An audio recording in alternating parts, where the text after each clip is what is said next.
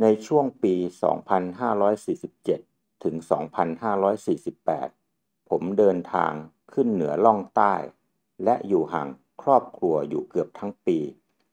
สถานที่พักปักหลักของผมก็คือ บ้านไม้หลังเก่าที่หมู่บ้านบนดอยจังหวัดเชียงราย เมื่อลองนับระยะเวลาดูแล้ว ปรากฏว่า ผมพักอยู่ที่บ้านหลังนี้ เกือบหนึ่งปีเต็ม ผมหวนนึกถึงวันเวลา ขณะที่อยู่บ้านหลังนี้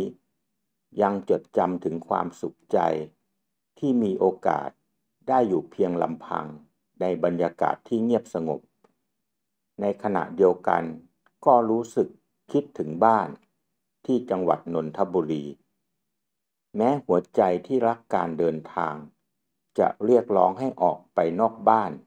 เพื่อได้พบปะสิ่งใหม่ ๆ อยู่ตลอดเวลาก็ตาม แต่ถึงที่สุดเมื่อเดินทางจนเหนื่อยล้าแล้ว ก็ต้องกลับมาบ้าน ซึ่งไม่มีที่ใด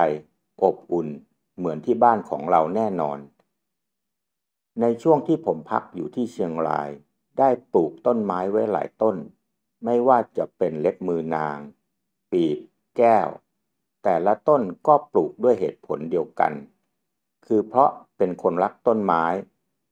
แต่มีต้นไม้อยู่ต้นหนึ่ง ซึ่งผมปลูกด้วยเหตุผลที่แตกต่างออกไป ต้นไม้ต้นนั้นคือต้นลั่นทม ซึ่งปัจจุบันใครๆก็เรียกว่าต้นลีลาวดี โดยส่วนตัวแล้วผมยังชอบชื่อเดิมมากกว่า แต่เดี๋ยวนี้ใครๆก็เรียกว่าลีลาวดีกันหมดแล้ว ผมเลยต้องเรียกตามไปด้วย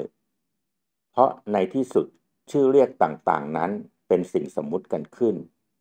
ส่วนหนึ่งมีไว้เพื่อการสื่อสารทำความเข้าใจระหว่างมนุษย์ด้วยกัน ช่วงหนึ่งลีลาวดีเคยเป็นพันไม้ที่ราคาแพงมาก ทั้งที่หายากจริงๆ และที่ปั่นราคาขึ้นมา ปัจจุบันก็ซาลงไปแล้ว เพราะลีลาวดีนั้นขยายพันธุ์ไม่ยาก ที่จะยังคงราคาแพงไว้ก็เป็นพวกต้นที่โตโตอายุมาก และรูปทรงสวยงามสำหรับกิ่งชำธรรมดาก็ไม่ได้แพงอะไรมากนัก บริเวณรอบๆบบ้านมีต้นไม้เก่าที่คนเดิมปลูกไว้ และผมปลูกใหม่เพิ่มขึ้นมา แต่มีจุดหนึ่งที่ยังว่างเว้นอยู่ เพราะเป็นที่ลกเลื้อและเป็นกองขยะเก่า ผมตั้งใจว่าจะทำให้สวยงาม ด้วยการปลูกต้นไม้ลงไปแทนที่ เพื่อลบร่องรอยเดิมและเพื่อป้องกันไม่ให้คนมาทิ้งขยะใหม่อีก ในที่สุดผมก็ตัดสินใจเลือกต้นลั่นทม หรือลีลาวดีปลูกตรงนั้น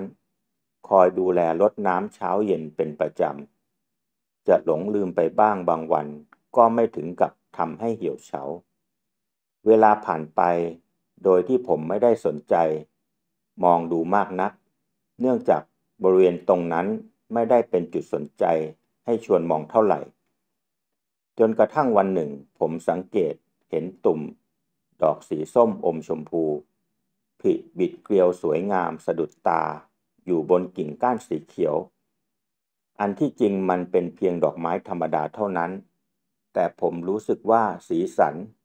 ช่างสวยสดงดงามเป็นพิเศษ เพื่อนบ้านที่ไม่เคยเหลือบตาไปทางนั้น ก็หันไปดูและกล่าวชมว่าดอกสีสวยดี ทั้งที่แต่ก่อนพื้นที่ตรงนี้ไม่มีใครอยากจะเหลียวมอง หลังจากที่ต้นลีลาวดีเติบโตขึ้น ทุกๆวันก็ไม่มีใครเอาขยะไปทิ้งอีก ขยะที่ย่อยสลายได้ กลายเป็นอาหาร หล่อเลี้ยงและให้สีสัน อันสดสวยแก่ดอกลีลาวดีไปแล้ว ดอกลีลาวดี สีสวยทำให้พื้นที่ตรงนั้น กลายมามีคุณค่าขึ้น จากสภาพกองขยะเก่า กลายเป็นลานดอกไม้ ถึงแม้จะต้องใช้เวลาเนิ่นนานเพียงใด แต่ทว่าก็ยังดีกว่าที่จะปล่อยให้กองขยะ เป็นกองขยะอยู่อย่างนั้น ต้นลีลาวดี ต้นนี้ทำให้ผมย้อนกลับมามองเรื่องราวในชีวิตตัวเองอีกครั้ง หลังจากที่ผมเปลี่ยนพฤติกรรมจากเดิม ที่เคยจมอยู่ในอบายมุขมาเป็นคนปกติ เวลาที่ผมพบสายตาหรือได้ยินคำพูดทำนองที่คลางแคลงกับพฤติกรรมที่เปลี่ยนไปของผมว่า